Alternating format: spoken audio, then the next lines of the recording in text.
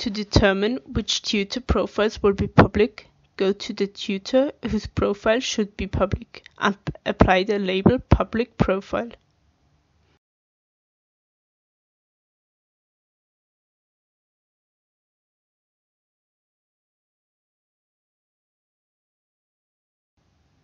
Under System Customization, Approve Public Tutor Profiles, you can then view the profile that will be displayed. If no tutors are listed, you can click the Refresh Public Profiles button. If an admin or a tutor makes a change to a public profile, then you will need to approve the change in the same way as releasing them initially.